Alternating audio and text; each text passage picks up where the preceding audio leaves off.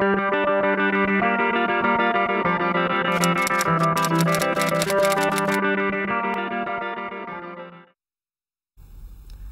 وسهلا بيكم مشاهدينا الأعزاء في حلقة جديدة من برنامجنا بلدنا أحلى. يمكن كل مرة بنقابلكم فيها بيبقى عندنا أمل إن بكرة يكون فعلا أحلى من النهارده. بس ده عمره ما هيكون بالكلام بس. ده محتاج شغل وتعب وجهد كبير جدا عشان نوصل للي إحنا عايزينه. عشان كده كل مرة بنتقابل فيها بيبقى عندنا جزء أو فقرة بنتكلم فيها في مشكلة موجودة في المجتمع المصري. وخليني ما أقولش إنه مشكلة خليني أقول إنه تحدي. تحدي لازم نواجهه ونتغلب عليه. وفي الفقرة التانية بنتكلم عن شيء إيجابي. شيء إيجابي عايزين نسلط عليه الضوء والناس تعرف عنه أكتر وأكتر. خليني أقول لكم عن الموضوعين اللي هنتكلم عنهم النهاردة بس بعد أول فقراتنا وهي الأخبار المتنوعة. أول خبر هنتكلم فيه النهاردة بيخص صندوق النقد الدولي اللي أوصى الحكومة المصرية بعدة توصيات عشان نقدر نحافظ على برنامج الإصلاح الاقتصادي. الصندوق أعلن عن تقرير المتابعة الأول لبرنامج مصر الاقتصادي واللي على أثره مصر حصلت على قرض ب 12 مليار دولار يصرف على ثلاث سنوات. الصندوق أوصى عدة توصيات أهمها السيطرة على التضخم وزيادة الأسعار الوقود قبل العام المالي المقبل بالإضافة إلى الاستمرار في تقديم الدعم للطبقات الفقيرة. تاني خبر معانا هو فني بيتكلم عن فريق فيلم كارما.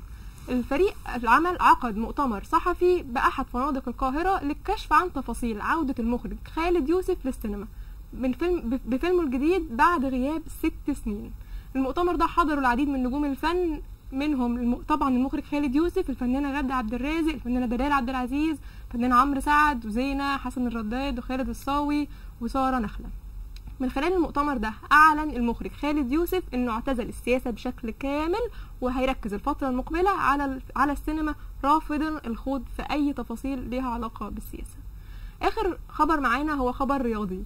النهارده مدرب المنتخب محمود محمود فايز أعلن عن إنه باسم مرسي مشكلته انتهت تماما مع.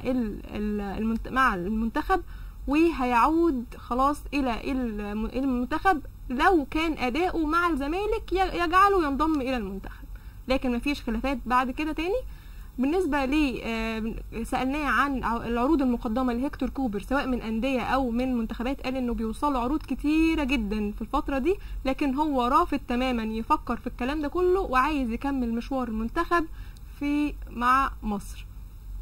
فإن شاء الله بإذن الله يا رب يعني نوصل لكأس العالم السنة دي ونفرح كل المصريين. كده خلصت أخبارنا. بعد كده عندنا الفقرة الجاية زي ما قلت لكم مشكلة هنتكلم عنها.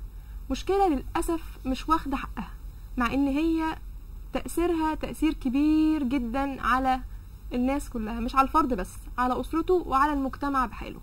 خليني أقول لكم إنه إحنا يمكن دلوقتي في الفترة اللي إحنا فيها دي بيبقى زيادة حالات الزواج من تقريبا بتبدأ من بعد العيد الصغير بتستمر لحد شهر 11 أو 12 بتبقى فترة الزواج في الفترة دي بتبقى عدد الحالات بتبقى مرتفع. ناس بيبقى عندها أمل إن هي تفرح وتشوف ولادها بيكبروا لكن للأسف للأسف الحلم ده كتير جدا ما بيتحققش. ليه؟ عشان بنستهتر بتفاصيل صغيرة بتأثر تأثير كبير جدا على حياتنا الجاية. مهم جدا نتكلم في الموضوع ده ومهم جدا نعرف تأثير الحاجات دي وهي عبارة عن إيه أصلا عشان على حياتنا الجاية. خلينا نتكلم معاكم بالتفاصيل عن الموضوع ده وعن تحاليل ما قبل الزواج بس بعد الفاصل تعرف معنا على الخطوات المستقبلية بعد التخرج من Cairo Media School الانضمام لعضوية Cairo Media Club التي تمكنك من الحصول على فرص تدريبية في المؤسسات الإعلامية وتجهيز سيرتك الذاتية والتقدم للوظائف ومناقشة أفكار الأعضاء وتوفير وسائل تنفيذها. الخريجون سيشاركون معنا في تأسيس Cairo TV Online تلفزيون موجه باللغة الإنجليزية والعربية من القاهرة إلى العالم. أهلا بيكم مشاهدينا مرة تانية بعد الفاصل ويمكن زي ما كنت بتكلم معاكم من شوية موضوعنا دلوقتي هو التحاليل ما قبل الزواج. خليني أقول لكم شوية أرقام للأسف هي صادمة شوية بس لازم نعرفها عشان نتعظ. منظمة الصحة العالمية أصدرت تقرير قالت فيه إن واحد من كل خمسة وعشرين طفل بيبقى عندهم تشوهات أو عيوب خلقية. واحد من كل خمسة وعشرين ده معناه أربعة في المية أربع أطفال من كل مية طفل. طيب يا ترى النسبة في مصر نفس النسبة؟ للأسف الشديد إحنا بعيد جدا. للأسف في اليوم القومي لأطفال التشوهات الخلقية أعلنت النسبة في مصر. النسبة دي بتساوي خمسة وعشرين في المية. يعني خمسة وعشرين طفل من كل مية طفل للأسف عندهم تشوهات خلقية. عشان كده كان لازم نتكلم في الموضوع ده ونعرف عنه أكتر. نعرف إيه أسباب وجود التشوهات الخلقية وهل ليها علاقة بالتحاليل ما قبل الزواج اللي للأسف معظم المصريين بيستهتروا بيها ولا لأ عشان كده ضيوفنا وضيوفكم في الاستوديو دكتورة ندى صبري استشاري طب الأطفال بجامعة القاهرة وسلمى اللي هي قصة حقيقية لازم نسمعها عشان فعلا نقدر نتعظ أهلا بيكم بحضرتك. بداية يا دكتور كنت عايزة أعرف من حضرتك إيه التحاليل اللي بتتعمل قبل الجواز وإيه فايدة وإيه لازمتها؟ بصي هما ثلاث تحاليل المفروض نعملهم قبل آه، الجواز أول تحليل آه، بنعمله عشان نعرف إذا الزوج أو الزوجة هيقدروا ينجبوا آه، بعد الزواج ولا لأ أو هم هيكون عندهم طبعا ده بيسبب انفصالات كتيرة بعد- بالظبط يعني في كتير بعد ما بيعرف إن هو مش آه، ما بيخلفش بيضطر ينفصل. ينفصل. تاني نوع هو النوع الوراثي اللي هو بعد ما ممكن أنجب أسبب مثلا مرض لابني أو بنتي اللي بخلفهم. okay. تالت نوع اللي هو بيجي عن العدوى يعني مثلا أنا الزوج يعدي مراته. أو آه بيكون عندي مثلا يجي فيروس C زي الايدز زي الأمراض الخطيرة دي تمام بس فطبعا لازم نطمن يعني على صحتنا قبل ما نتجوز طيب وأهمية يعني التحاليل دي بنعملها عشان الأطفال mainly وعشان شريك الحياة بالظبط. لازم نطمن على نفسنا يعني ما ينفعش إن أنا طبعاً. آه قبل يعني أهم من أي حاجة إن إحنا نطمن على صحتنا يعني ما ينفعش إن أنا أعدي حد بمرض خطير عندي. ف وطبعا الأولاد اللي هم بيبقوا أغلى حاجة في الحياة فعلا بيبقى صعب جدا آه، ممكن تسبب يعدوا. لوفاة بعد كده. تمام. طيب سلمى إحنا عايزين نعرف قصتك. ال- ال- أنت عندك قصة حقيقية في الموضوع ده. نحب نعرف قصتك. تحكيها لنا. أنا آه، اسمي سلمى. آه، كان زي زي أي بنت بحلم بفارس أحلامي إن إحنا الاقيه ونتجوز آه، ونكون الأسرة اللي كل الناس بتحلم بيها. آه، وفعلا الحلم ده اتحقق لقيت ال- اللي كنت بحلم بيه يعني واتجوزنا. بس ال- آه، وخلفنا آه، خلفنا ابني كريم آه، بس فجأة الحلم اتحول لكابوس وده بسبب إن إحنا ما عملناش تالت نوع من التحاليل اللي الدكتور قالت عليه. هو كان عنده مرض الإيدز عداني يعني انت يا فاطمة كنت عملتي تحاليل تانية ولا ما عملتيش تحاليل خالص؟ ما عملتش أصلا خالص. التحاليل. آه، فده طبعا آه، هو كان عنده مرض الإيدز عداني بالتالي طبعا هو ما كانش يعرف هو كمان آه أكيد هو ما كان كانش باين يعني- عليه أعراض. ما كانش عنده أعراض ولا أنا ظهرت عندي أعراض. بس هو الطفل بعد ما اتولد لقينا آه، كان عنده شهور آه، بدأ يسخن على طول ويطلع طفح على بقه. آه، رحنا بيه لدكاتره كتير لفينا بيه على دكاترة يعني. محدش متوقع بس- طبعا في السن ده طبعا يعني. يعتبر صغير يعني محدش في. السن يعني هو الد- الطفل في السن ده محدش أصلا عارف عنده إيه يعني. هو كل دكتور بيدي علاج للسخونية بس محدش اداله علاج ك- كامل يعني. بس في دكتور آه، قال لي نعمل له تحليل دم. التحليل كشف الصدمة طبعا كنا اتصدمنا بيها إن عنده المرض ده. آه ولما اك- اكتشفنا كده است... يعني الدكتور استغرب كل الناس استغربت إزاي طفل في السن ده عنده المرض. آه طلب مننا إحنا كمان نعمل التحاليل واكتشفنا ان إحنا عندنا الإيدز بس ما كانش باين عندنا الأعراض عشان ممكن يكون في السن أكبر. آه فالأعراض ما كانش بتبان بس هو طفل مناعته ما استحملش. آه.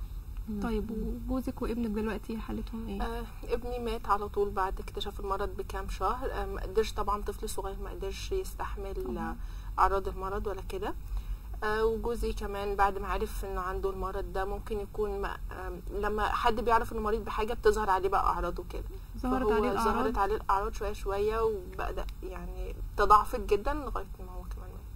طب وأنت يا فاطمة دلوقتي بتاخدي أي علاج لل مفيش أي علاج في العالم تقريبا آه، للمرض ده. بتبقى علاجات مؤقتة بس مفيش علاج بيقدر يقدر ينهي يعني تمام. طب دكتور انت في أي خبر عن علاجات جديدة موجودة تقدر تساعد في فكرة العلاج الإيدز ولا؟ الحقيقة لحد دلوقتي ما فيش حاجة فعلا ممكن تعالج بشكل رسمي كلها زي ما هي قالت بتأج يعني بتأجل الأعراض فقط لا غير. آه بس فكله طبعا حاجات يعني بتأجل بس الأعراض مفيش حاجة بت- بتشفي المرض تماما. لا للأسف. طيب كنت عايزة في آخر الفقرة يا دكتور أعرف من حضرتك نصيحة تقوليها للشباب المقبل على الجواز يعملوا إيه عشان يتقوا مشكلة تحصل لأولادهم وليهم. آه، أنا شايفة إنه إن الشباب لازم تبدأ آه، توعي نفسها يكون عندها وعي يعني في ال في ال في ال في إن هم يعملوا تحاليل قبل الزواج عشان يطمنوا على نفسهم. قبل ما يأذوا نفسهم وقبل ما يأذوا أي حد يعني يعني إن انت تنجبي أو. تجيبي ولد ده ده الطفل ده بيكون غالي عندك طبعاً. فانت كده هتأذيه. طبعا. فلازم يعني نفكر زي بره إن هم عندهم ما ينفعش يفبركوا التحاليل دي قبل الزواج ما طبعا ينفعش. طبعا. ميرسي فأنا- جدا لحضراتكم ميرسي جدا يا دكتور ندى ميرسي جدا ليكي يا سلمى. ميرسي جدا ليكم مشاهدينا على الفقرة مشاهدتكم الفقرة دي نتمنى إن إحنا نتعظ منها. خلينا نطلع فاصل ونتكلم في الفقرة الجاية على إيجابية موجودة في مجتمعنا المصري ومبادرة من وزارة التربية والتعليم. أشوفكم بعد الفاصل. تعرف معنا على الخطوات المستقبلية بعد التخرج من Cairo Media School الانضمام لعضوية Cairo Media Club التي تمكنك من الحصول على فرص تدريبية في المؤسسات الإعلامية وتجهيز سيرتك الذاتية والتقدم للوظائف ومناقشة أفكار الأعضاء وتوفير وسائل تنفيذها. الخريجون سيشاركون معنا في تأسيس Cairo TV Online تلفزيون موجه باللغة الإنجليزية والعربية من القاهرة إلى العالم. ورجعنا لكم مشاهدينا مرة تانية برنامجنا بلدنا أحلى. يمكن النهاردة مع بداية دخول المدارس همنا جدا إن إحنا إحنا حاسين بال- بالأب والأم حاسين بأولياء الأمور. حاسين هم قد إيه خايفين وبيخافوا من لحظة دخول المدارس دي بالنسبة لهم بقت بعبع يا ترى هيدفعوا كام في مصاريف المدرسة؟ يا ترى مصاريف المدرسة السنة دي غليت عن السنة اللي فاتت كام؟ طب لو عرفوا يدخلوا واحد هيدخلوا التاني والتالت بنفس المستوى ولا هيعملوا إيه؟ للأسف المدارس بقت بآلاف الجنيهات أرقام فلكية ما يقدرش عليها غير القليل من الناس. عشان كده في حصلت إيجابية من من وزارة التربية والتعليم عملت مبادرة وهي المدارس اليابانية في مصر. كلنا سمعنا في الفترة اللي فاتت عن المدارس اليابانية بس كلنا ما عندناش المعلومة بالظبط هي عبارة عن إيه وإيه النظام فيها والدنيا فيها تبقى ماشية إزاي. عشان كده النهارده استضفنا الأستاذ أحمد خيري المتحدث الرسمي باسم وزارة التربية والتعليم ازي حضرتك يا فندم؟ ازيك. بداية يا فندم عايز أعرف من حضراتكم عفوا آه، فكرة ال- المدارس اليابانية جبناها في إشمعنى إشمعنى المدارس اليابانية إيه الفكرة في الموضوع أه بصي هو المؤشرات الدولية وضحت إن مصر في الفترة الأخيرة آه، بعدت خالص عن الترتيب الدولي من حيث التعليم طبعا. طبعا. ففكرنا إن إحنا نعمل اتفاقية يعني تعاون مشترك ما بيننا وبين اليابان في مجال التعليم عامة عشان ده بحيث إن هو يفيدنا. تمام أوكي طيب. إيه ال- إيه الإضافة بقى اللي هتضيفها المدارس اليابانية للطفل المصري عن نظيراتها المصرية؟ آه، ال- آم، المدارس اليابانية عامة بتهتم بالطفل ب ب يعني بتهتم بتنمية الطفل تنمية شاملة آه، من جميع الجوانب سواء. آه، آه، أكاديمي أو تطبيقي يعني جوانب أكاديمية أو أو جوانب تطبيقية غير تمام عندنا شوية مهتمين بالأكاديمي أكتر من التطبيقي بالظبط تمام okay. وكمان بي بيدرب الطفل إن هو آه، بيعلمه النظام وبيعلمه الاحترام آه، لأي حد أو أي يعني أي حاجة مختلفة عنه. تمام. طيب أنا في سؤال بصراحة جه في دماغي أول ما سمعت عن المدارس اليابانية متهيألي جه أكيد في دماغ عدد من أولياء الأمور. يا ترى الدراسة في المدارس دي هتكون باليابانية؟ يعني نحب تطمنا في الموضوع ده. أكيد لأ طبعا هتبقى باللغة الإنجليزية زيها زي أي مدرسة لغات في مصر. مدرسة ثانية طيب تمام. بالنسبة يا فندم للوجبات إحنا بنسمع طبعا المدارس الخاصة بتقدم للطفل وجبات صحية في اليوم الدراسي. هل ده يا ترى هيكون متوفر في المدارس؟ بالطبع هيكون هيكون في آه، وجبة صحية للطفل آه، في نص اليوم الدراسي بإذن الله. أوكي طيب آه بالنسبة لعدد الأطفال في الفصول طبعا بنسمع المدارس الحكومية الأطفال متكدسين في الفصول وعدد زي ما. بيقولوا العدد في الليمون. بالنسبة للمدارس دي هتبقى الدنيا ماشية إزاي؟ يعني maximum هيوصل عدد ال- الأطفال في الفصل الواحد 40 طفل. okay. لا هيزيد عن كده ولا هيقل عن كده. طبعا الفصل هيكون مزود بأحدث الوسائل التكنولوجية وهيكون في آه، باب للدخول وباب للخروج. طب وإيه الفكرة من فكرة باب الدخول وباب الخروج هي فكرة تعليم نظام. آه بنعلم الطفل النظام أصلا بالظبط يعني باب. باب الدخول باب الخروج آه، يعني بن- بنعلم الطفل مبادئ إن هو يت- يتعلم النظام. تمام. طيب يعني اللي حضرتك بتقوله ده شكله مبشر جدا. عايزين نعرف من حضرتك بقى شروط الالتحاق بالمدارس دي. هل هي شروط معسفه ولا ممكن أي حد يلتحق بالمدارس دي؟ آه، هو بس آه، مرحلة الكيجي هتبدأ من آه، أربع سنوات للأطفال تمام؟ بالنسبة للمرحلة الابتدائية بتبدأ من ست سنوات. حلو جدا طيب وبالنسبة للموقع الجغرافي لازم تكون المدرسة جنب ال- ال- المربع السكني ولا ممكن إيه هنوفر؟ مدارس يعني هنحاول إن إحنا نوسع طبعا ال- ال- ال- المدارس. المدارس لو لو يعني المدارس نجحت بطريقة إحنا متوقعينها. ونخلي إن هو طبعا في كل منطقة سكنية بيبقى في مدرسة عشان الناس كلها تعرف توصل لنا طيب حلو جدا بالنسبة بقى للمصاريف يعني ال- المصدر القلق بالنسبة لأولياء. الأمور دلوقتي حضرتك بتقوله ده كله ممكن يخلي الناس تفكر إنه المدارس دي هتكون غالية.